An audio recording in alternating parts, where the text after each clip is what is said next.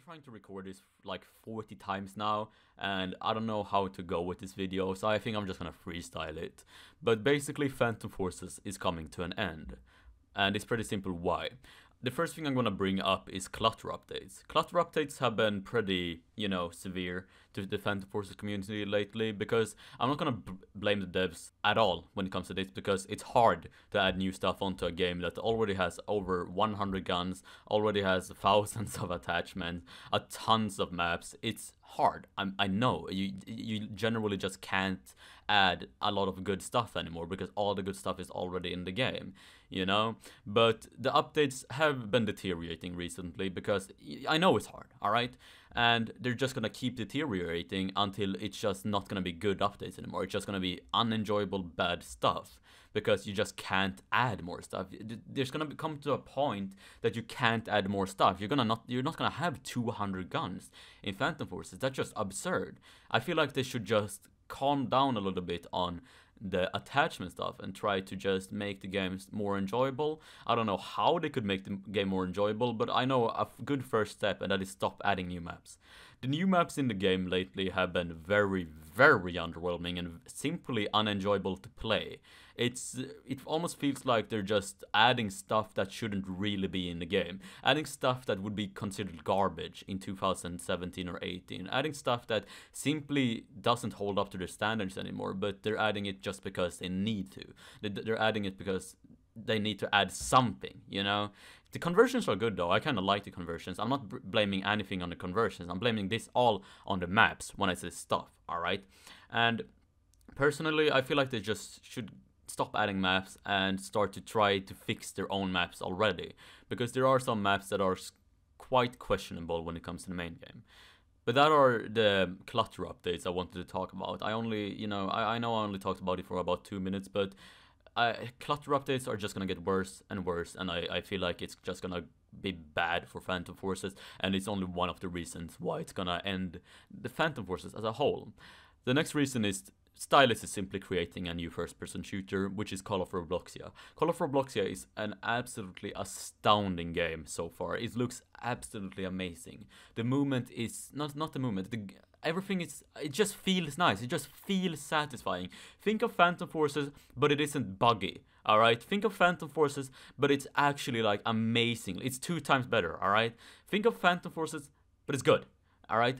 I'm not saying Phantom Forces is bad. Phantom Forces is easily the best game on Roblox. Phantom Forces is easily the best first-person shooter on Roblox the past six years, alright? The only game coming close to Phantom Forces is Bad Business. And I personally don't enjoy Bad Business, but I can respect the fact that it's a truly amazing game too.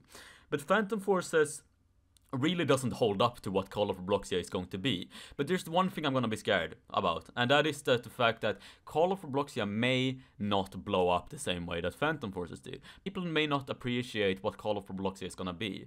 Call of Robloxia is gonna be a World War II shooter, alright? Which is my biggest fe uh, fear when it comes to this game, because World War II shooters tend to be slightly bland when it comes to guns and uh, customization. You know, the reason why I enjoy Phantom Forces is so much because there's so much customization you can do. All right, when it comes to World War II shooters, you like the only guns you have is like Sten, wow, Kar, wow. STG, wow. Um, MG42, wow. I know there's a lot of other guns, but it's generally those guns, you know? So that's my fear when it comes to Call of Robloxia and generally Phantom Forces like it's natural. Phantom Forces should come to its end already because it has been such a long run, and it it really just is one of the most legendary game on, games on Roblox. But I personally feel like it shouldn't end yet. I feel like they should actually try to keep it alive when releasing Call of Robloxia. Like if Call of Robloxia simply doesn't do it, alright, you know? And I think that's what they really are going to do. They are going to try to keep Phantom Forces alive, but I think it's not going to hold up in the end. I think it's not going to hold up to keep up two games in the end because, you know, you can't just keep adding stuff to Phantom Forces and you can't just keep adding stuff. Uh, you can keep adding stuff to Call Blocks Robloxia because it's such a new game, but in the end, Phantom Forces is just gonna die because it has been six years already. I know this was very confusing to listen to. I know I was just rambling about everything, but I hope you got my point. Clutter updates is gonna kill the game. New FPS by style is gonna kill the game. All right, that's what I really think about. And like, ah, uh, there's one last thing I'm gonna name. All right, and that are people complaining about Phantom Forces. People are still complaining about Phantom Forces, and sure, you can complain about bugs, I guess, sure. But they have patched most of the bugs. Let's be real here. They have patched most of the bugs. The only game-breaking bug I have ever, like, stumbled upon recently is me just vaulting on something and me flinging up in there and dying. That is really the only thing that has happened recently. Before you could literally spawn and die immediately. Before you could literally spawn and not spawn for the next of the game.